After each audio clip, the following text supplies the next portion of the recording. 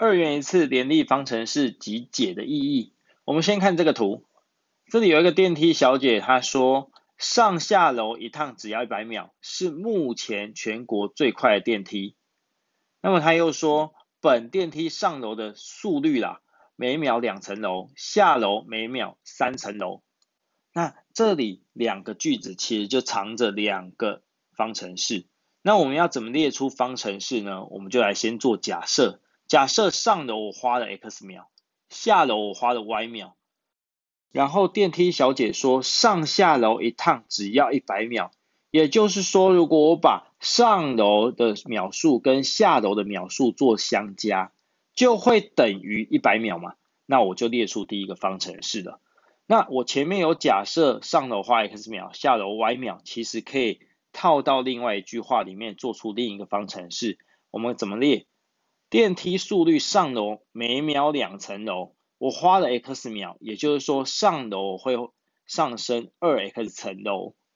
电梯速率下楼每秒三层楼，那我花了 y 秒，就代表说电梯从顶楼总共下降了三 y 层楼到地面嘛。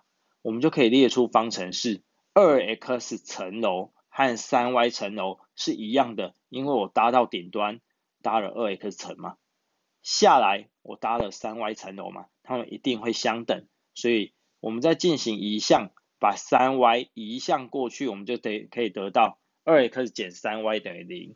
那么这两个方程式我并列写在一起，写成上下了。那我前面再给一个这个像大括号的符号，我们就称为。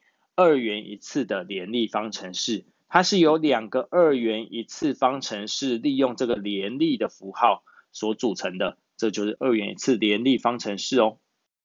像前面我们说的啊，两个二元一次方程式并列，然后表示这两方程式都要符合的式子。什么叫都要符合啊？像前面电梯小姐说的两句话，她不可能用自己的话打脸自己的话嘛，所以代表说她两件事情是同时符合的嘛。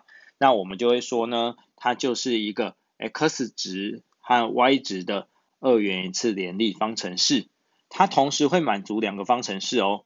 那或者是说呢，我们可以说它是 x 与 y 的二元一次方程组，而同时能符合这两个方程式的解呢，我们就说这是二元一次联立方程式的解。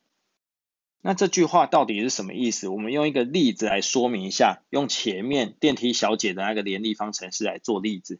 如果今天 x 等于六十，y 等于四十的时候呢，我们把它给代入进去它的联立方程式，它两个方程式分别为 x 加 y 等于一百，以及二 x 减三 y 等于零。